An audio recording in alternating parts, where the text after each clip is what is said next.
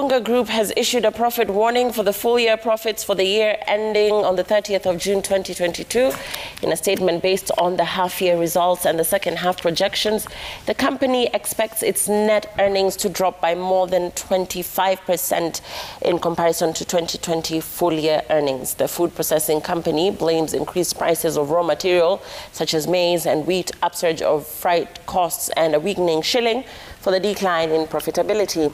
Unga Group anticipates that the raw material situation will remain a challenge in the second half of the year. The company's board of directors and management team have pledged to create strategies that will improve financial performance in future.